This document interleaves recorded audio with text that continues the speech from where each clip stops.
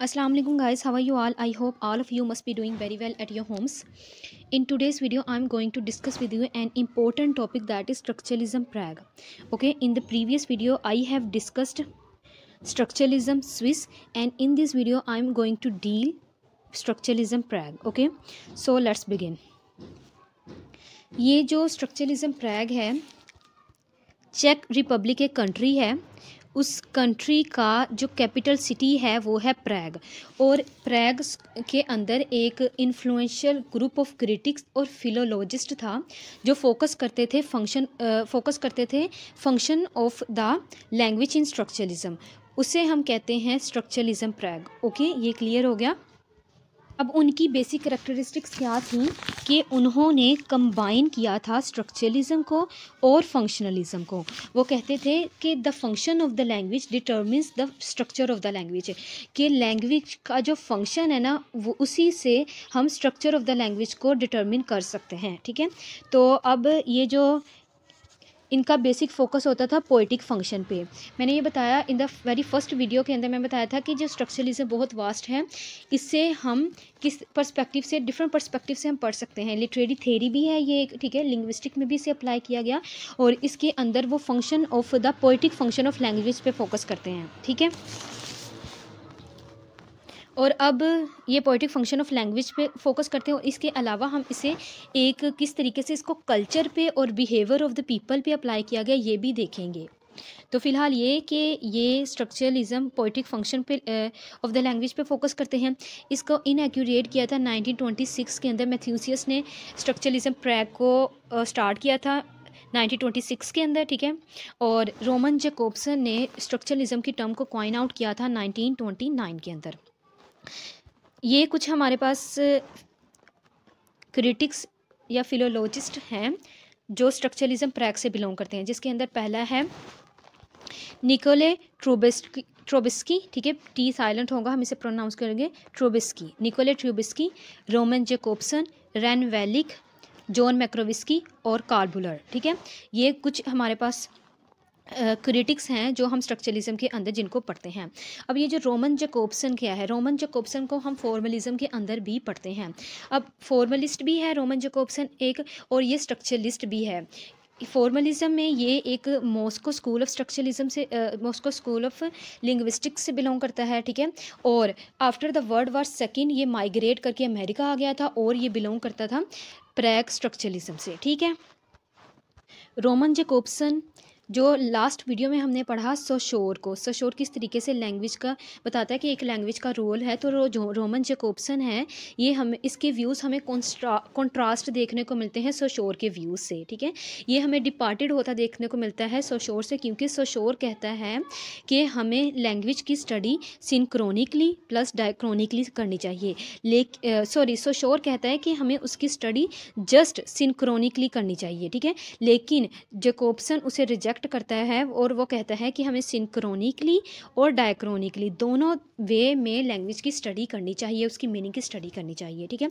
और इसके अलावा इसने ना अपनी थेरी ऑफ़ लैंग्वेज के अंदर जेकोब्सन ने ही अपनी थेरी ऑफ़ लैंग्वेज के अंदर हमें मोड ऑफ़ कम्युनिकेशंस दिए थे।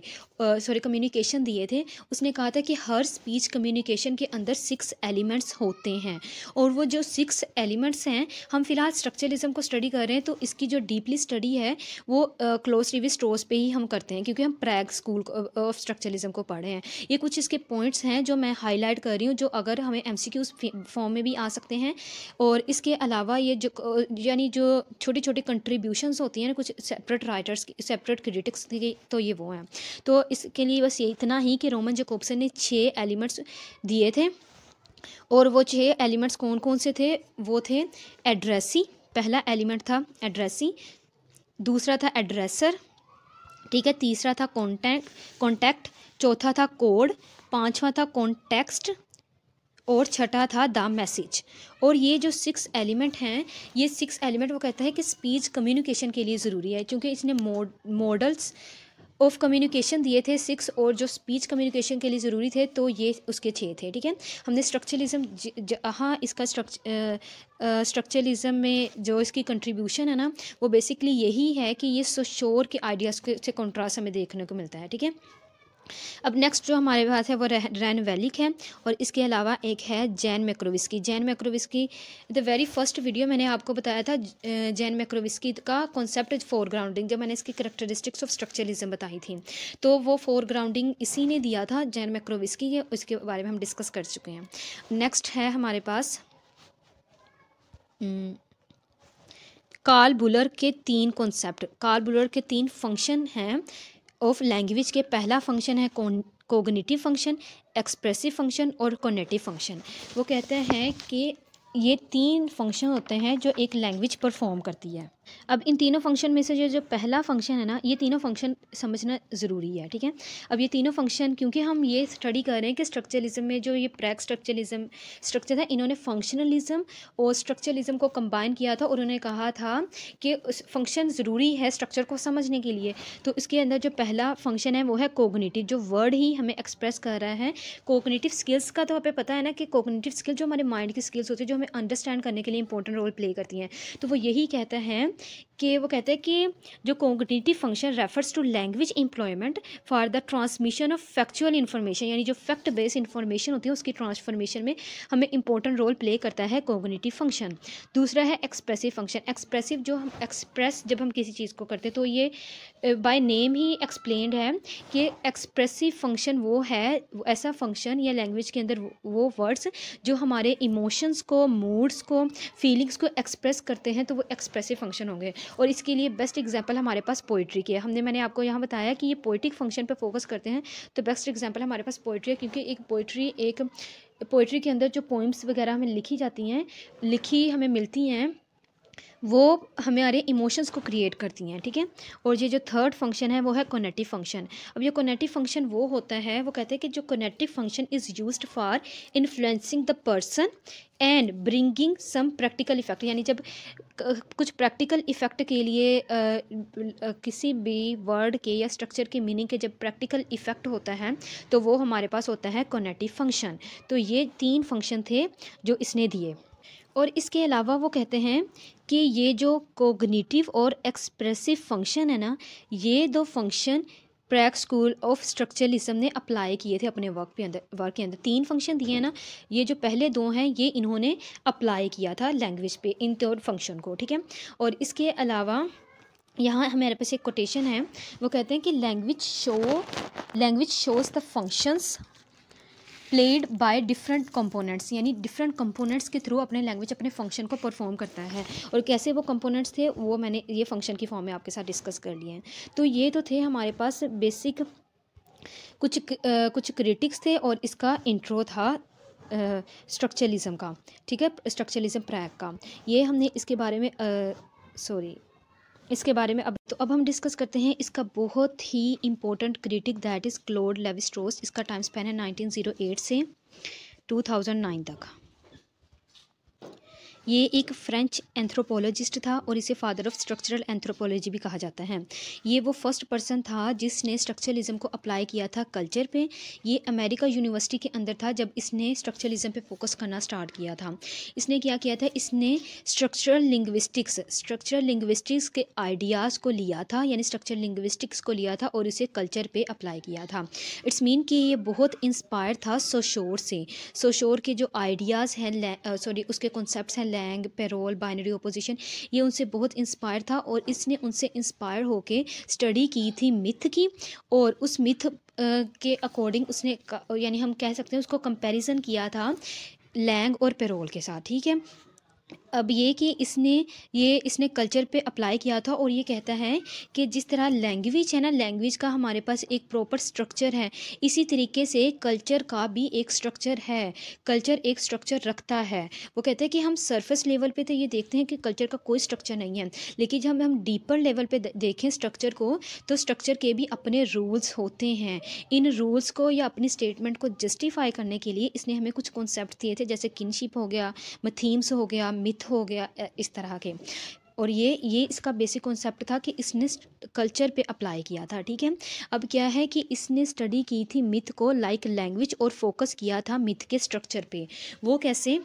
वो कहते हैं कि जिस तरीके से हम मिथ को पढ़ते हैं, मिथ क्या है कि मिथ कोई भी चीज़ कोई भी ऐसी चीज़ जो रियलिटी नहीं होती, ठीक है?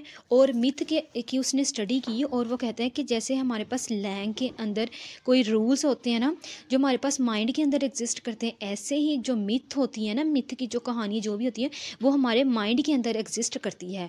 और जैसे हमारे पास पेरोल जो फ़िज़िकल फॉर्म के अंदर होती है ना, जो इंडिविजुअली बेस्ड होती है और वो डिफरेंट होती है एक दूसरे से, इसी तरीके से जो मिथ की की इंटरप्रिटेशन होती है ना जब मिथ को जिस तरीके से हम बयान करते हैं, वो भी इंडिविजुअल वेरिएशन पे बेस करती है। यानी ये कि मिथ को उसने लिया था एज अ लैंग और पेरोल के साथ। मैंने आपको बताया कि ये उससे बहुत इंस्पायर सो शोर के कॉन्सेप्ट थे। इसलिए उसने मिथ को इस तरह डिफ़ाइन किया। मिथ की स्टडी एज अ लैंग्वेज इसने स्टडी की थी, ठीक है? और इसी के साथ वो ये कहता है कि जैसे साइन की इसने थेरी दी थी ना, जिसके अंदर हमने सिग्निफिकेशन पढ़ा था, वो कहते हैं मिथ भी, साइन की तरह ना? साइन के लिए, साइन जैसे, जिसके अंदर हमने सिग्निफाइड और सिग्निफायर पढ़ा था, वो कहते हैं कि मिथ भी स्ट्रक्चर पे बेस करती है। मिथ के भी लैंग और पेरोल की तरह अपने अपने जैसे हमने पढ़ा लैंग्वेज कुछ स्ट्रक्चर से मिलके बनती है, ऐसे मिथ भी स्ट्रक्चर से मिलके बनती है। ये उसके कॉन्सेप्ट थे अबाउट मिथ अब हम देखते हैं, उसने हमें कुछ मैथड ऑफ़ स्ट्रक्चरलिज्म दिया था। एक्चुअली ये जो इसका मैथड ऑफ़ स्ट्रक्चरलिज्म है, वो इसी बात पे बेस करता है कि किस तरीके से इसने स्ट्रक्चरलिज्म को कल्चर पे अप्लाई किया था। इसका बेसिक फोकस जब भी हमारे पास ये कल्चर पे अप्लाई आ जाए ना स्ट्रक्चरलिज्म को तो इट्स मीन कि हमने सोशोर को ही बेसिकली डिस्कस करना है। अब इसका मेथड क्या था? वो कहते हैं कि ये जो हमारे पास स्ट्रक्चरलिज्म है ना इसने स्ट्रक्चरलिज्म के बारे में वो क्या था, इसका कॉन्सेप्ट वो कहते हैं, इसने स्ट्रक्चरलिज्म को अप्लाई किया था ह्यूमन बिहेवियर के अंदर और कल्चर पे। ह्यूमन बिहेवियर और कल्चर पे इसने अप्लाई किया था और ये कहते हैं कि हर एक कल्चर के अंदर हमारे पास सेट ऑफ़ रूल्स होते हैं। जैसे कि लैंग्वेज के अंदर रूल्स होते हैं, इसी तरीके से कल्चर के अंदर भी हमारे पास सेट ऑफ़ रूल्स होते हैं। और इसीलिए वो कहता था कि ये जो कल्चरल पैटर्न होता है ना कल्चर जिन रूल से मिलके बनता है या जिस तरीके से वह हमारा कल्चर बनता है, वो एक यूनिवर्सल पैटर्न होता है और जो अपने स्ट्रक्चर पे फोकस करता है।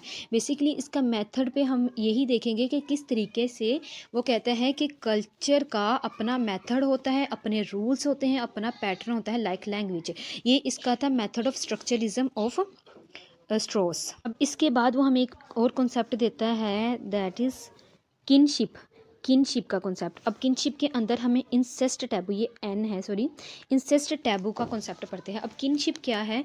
किंगशिप हम ये कह सकते हैं it is the relationship between the member of same family यानी एक ही, यानी जैसे हम ब्लड रिलेशनशिप कह सकते हैं, यानी मदर और डॉटर का इस तरीके से. और उसके अंदर वो हमें देता है इंसेस्ट टैबू का एक कॉन्सेप्ट ये है इसके स्पेलिंग ठीक है? I N C E S T अच्छा ये कहता है इंसेस्ट टैबू अब इंसेस्ट टैबू क्या है?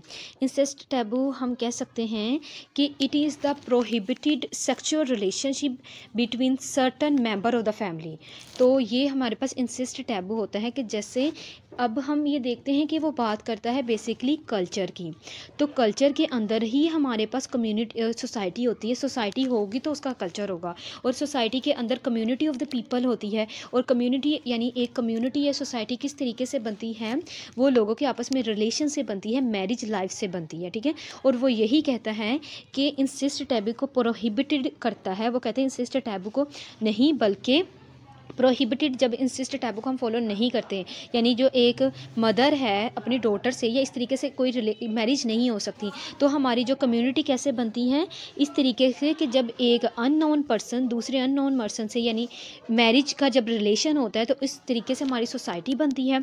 ठीक है? और उस सोसाइटी से जो हमारे पास कम्युनिटी ऑफ़ द पीपल बनती है, और वही हमारे कल्चर बनाती है, और वो कम्युनिटी ऑफ़ द पीपल का जो कल्चर बनाती है, वो एक स्ट्रक्चर बन गया ना, एक स्ट्रक्चर के किस तरीके से कि एक स्ट्रक्चरली तौर पे चीज़ें होती चली आ रही हैं, ठीक है यानी स्ट्रक्चर तौर पे नहीं, कि चीज़ें हमारे पास मौजूद हैं और वे एक स्ट्रक्चर बना रही हैं। जैसे कल्चर है कल्चर के अंदर लोगों का बिहेवियर होगा, उनका आपस में रिलेशन होगा। जैसे किनशिप सॉरी इंसिस्ट टैबू को वो रिजेक्ट करता है तो वो किनशिप के अंदर यही कह रहा है कि हमें ज़्यादा क्या करना चाहिए कि किनशिप के अंदर जब लोगों की कम्युनिटी बनती है तो ही कल्चर बनता है, ठीक है? बेसिकली ये किंगशिप फोकस कर रहा है कल्चर पे कि कल्चर और कम्युनिटी कैसे बनती है, इन सिस टैबू को रिजेक्ट करके और फोकस करके मैरिज लाइफ को यानी मैरिज लाइफ के अंदर किस तरीके से कम्युनिटी बनती है, ठीक है?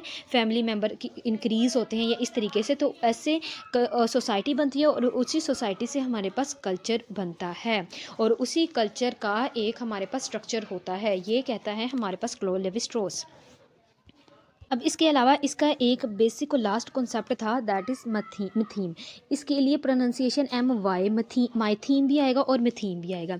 अब मिथीम यहाँ मैंने लिखा है अ ग्रुप ऑफ़ सेंटेंस तो ये क्या करता है स्ट्रोस स्ट्रोस कहते हैं कि ये जो थीम है ना, वो इसे कहते हैं it is a unit of narrative feature we use to compare different myths from around the world यानी जब हम कुछ मिथ को कंपेयर करने के लिए कुछ यूनिट का इस्तेमाल करते हैं ना तो वो होती है हमारे पास मथीम तो इसके अलावा इसे as a group of sentence भी हम कह सकते हैं, जब हम लिंग्विस्टिक के अंदर इसे पढ़ेंगे, आते हैं, ठीक है, अब उसको अंदर पढ़ते हैं. तो ये तो था हमारे पास basically Claude Levi sorry Claude Levi Strauss और इसके अलावा था स्ट्रक्चरलिज्म ठीक है? स्ट्रक्चरलिज्म के सॉरी स्ट्रक्चरलिज्म प्रैग इसके अंदर हमने बेसिक जो चीज़ें आज डिस्कस की हैं, वो है कि इसकी हमने करेक्टरिस्टिक्स पे फोकस किया, हमने इसके कुछ क्रिटिक्स पे फोकस किया, उनकी कंट्रीब्यूशंस पे फोकस किया और इसके अलावा हमने क्लोड लेविस स्ट्रोस को पढ़ा कि किस तरीके से क्लोड लेविस स्ट्रोस ने उसको कल्चर पे अप्लाई किया था और ये जो ऑलवेज रिमेंबर कि हम हमेशा वो फोकस करते हैं फ़ंक्शन एंड स्ट्रक्चरलिज्म की कम्बिनेशन पे और वो किस तरीके से होती है वो मैंने आपको बता दिया। So this is all about of Prague structuralism अब हमने अपना कवर कर लिया है स्विस स्ट्रक्चरलिज्म को। ठीक है, पहले हमने स्ट्रक्चरलिज्म का इंट्रो पढ़ा, उसके करेक्टरिस्टिक्स फिर हमने स्विस स्ट्रक्चरलिज्म को और हमने अब प्रैग स्ट्रक्चरलिज्म को पढ़ा। तो ये this is all about of today's video if you have any query you can ask me so अल्लाह हाफिज़।